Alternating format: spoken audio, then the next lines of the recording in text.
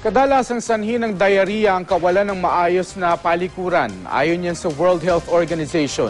Kaya kasabay ng pagdiriwang ng World Toilet Day ngayong araw, nananawagan ng DOH sa mga lokal na pamahalaan na magpagawa ng ah, maayos na palikuran sa kanilang mga nasasakupan. Makibalita tayo kay Kay Botastas. Pa-CR po. Walang sariling palikuran sa bahay si Aling Cynthia ng Bulan Sorsogon. Kaya araw-araw siyang nagtsatsagang pumila sa community toilet sa kanilang barangay. Walang bubong at pinagtagpi-tagping sako lang ang nagsisilbing tabing ng banyo. Siguro kung nasa sampo, lahat po dito walang kubeta. Bakit po kaya walang ano, walang Kasi walang pang pa-CR po.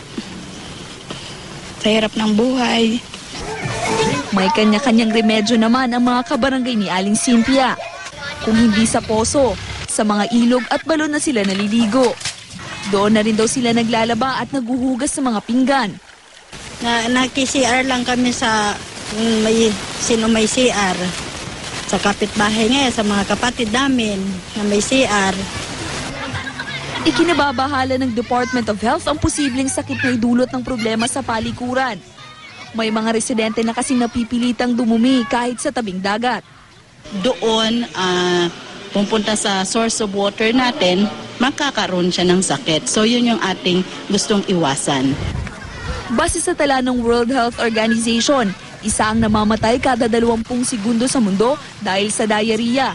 Marami rito galing sa mga lugar na kakaunti lang ang may maayos na palikuran. Sa Sorsogon, 60% lang ang may sariling banyo.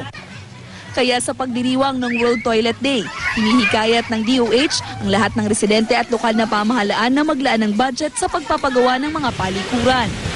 Pag wala kasing toilet ang isang household, syempre kahit saan-saan na lang yan magdudumi, dyan na mag increase yung diseases, especially diarrhea. Kasi nakocontaminate yung tubig Kay Butastas, Nagbabalita, Pilipinas.